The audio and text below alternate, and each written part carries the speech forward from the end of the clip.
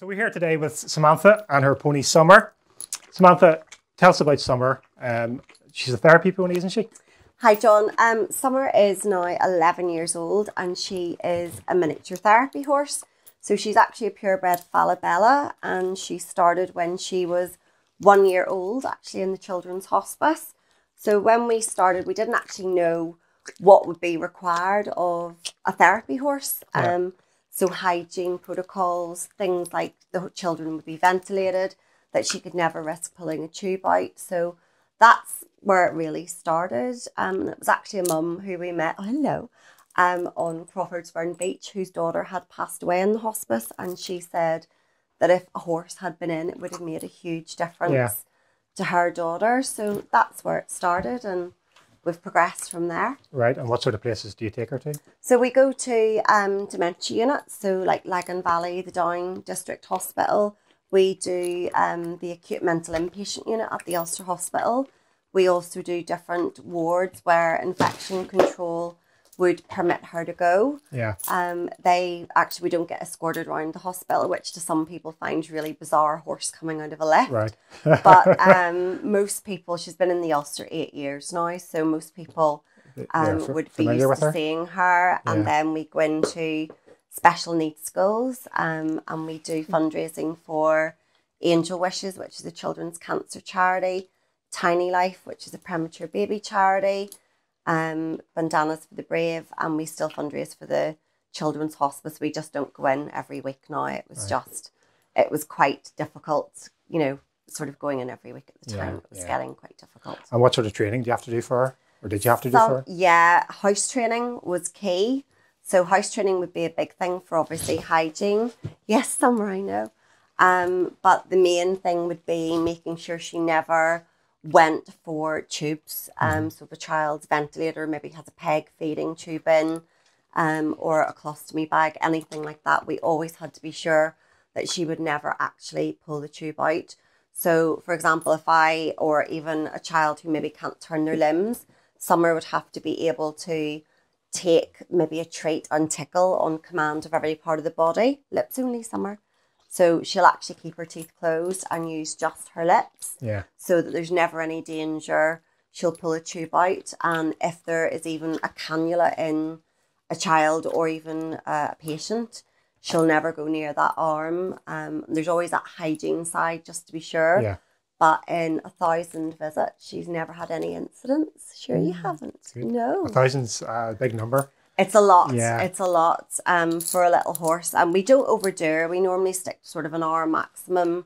Two hours would be the maximum we would ever do in a visit. We'd rather go back twice to one place Yeah. than actually one. Summer, what are you doing? And you do this all voluntarily. It's all voluntary. Um, so all the special needs schools are booked a year in advance. So there's some schools we stay in for two years or longer. Um, my son's special needs school, we're actually in there ten years now. So we'll probably still long after he's gone be in Yeah. there.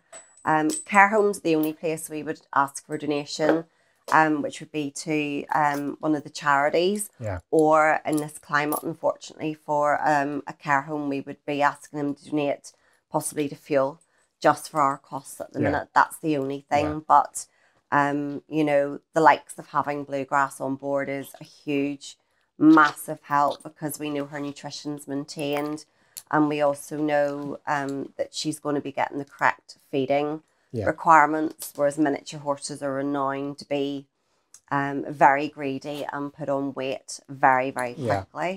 So this this is a huge, huge boost Yeah. for us to be. When I spoke to you before, I recommended the Stamm 30 because it's yeah, it's a just vitamins and minerals, and that's all she, she probably needs as Yeah. well as her for, for forage. So that's perfect because um we actually only give them hay, so they're on micronets, so they get three micronets a day, um, and that just spreads. It just means they're grazing as much as possible. Uh, obviously, as we have very restricted turnout, so um, we get them turned out to a very good lady sponsor of ours, Kate Latimer. She lets us turn them out there for free.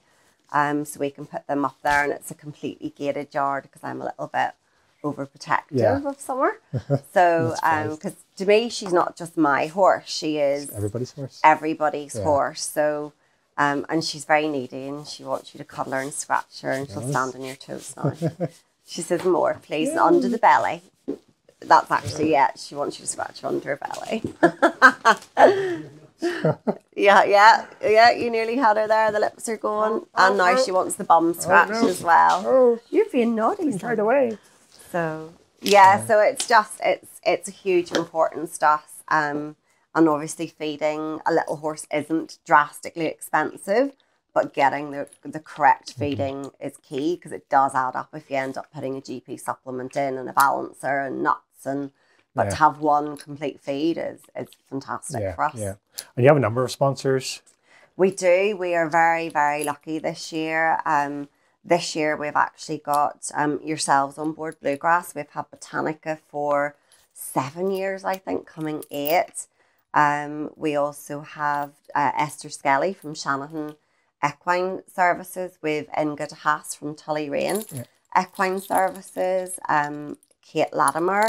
We also have Newsom Equestrian, who Jim and Emma Newsom are key for us letting our little horses have a, a summer away. a So we get to go to Newcastle all summer.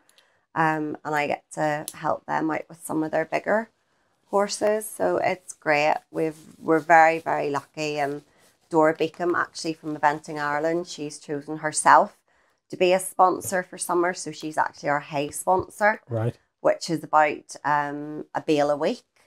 And a lovely lady called Shelley McFarlane um, sponsors two rugs.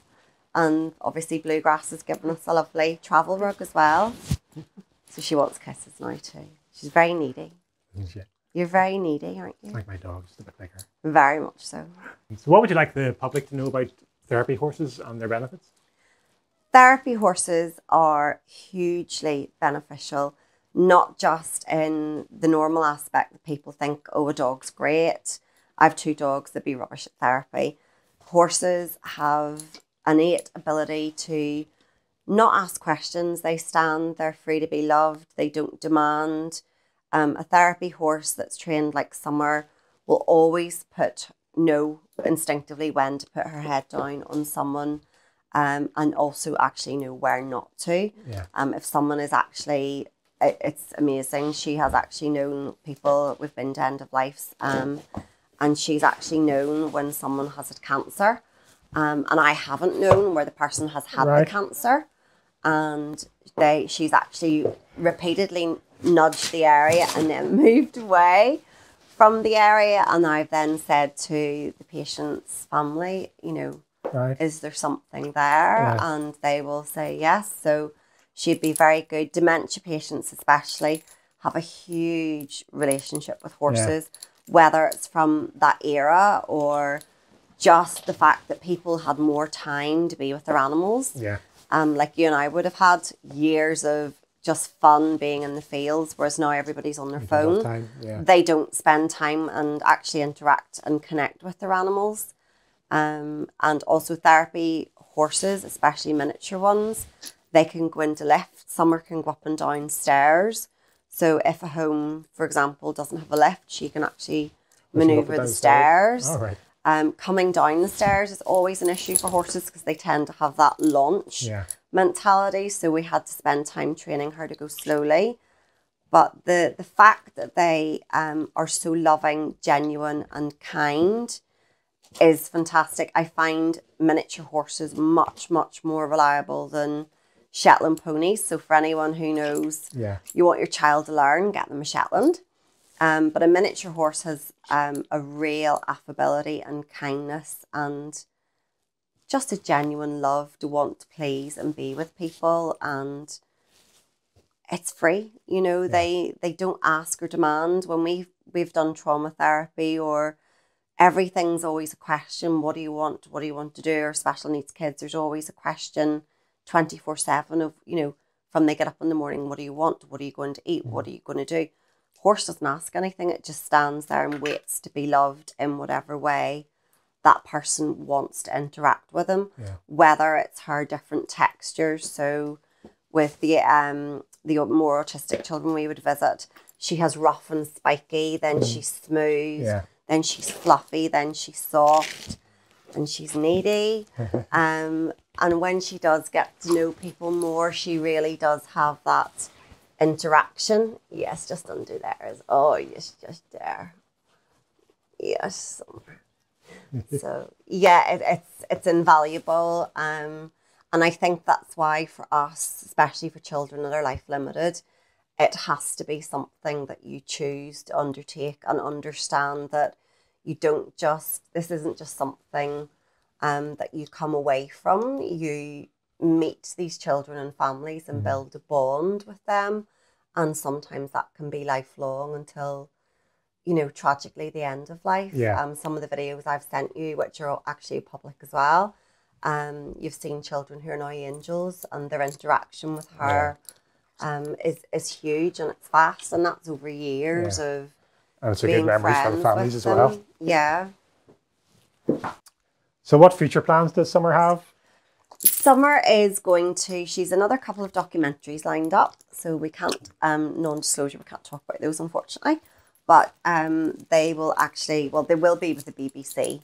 Um, and she is nominated as well for the Equine Award. So she'll be going to it. She's actually going as a guest. All right. So she'll have to get a ball gown as well as her mummy, won't you? So a couple of girls from my yard are going to come with me as um, support buddies that night, aren't they, Summer? Um, um, but lots of smiles, making children happy, um, just trying to make a difference where she can, and just being a good little horse. It's hard to believe 10 years have flown by, Yeah. but uh, lots of love to give. And she isn't just mine, she's everybody's little horse. She's very, very special and very needy, as you can tell. Yeah.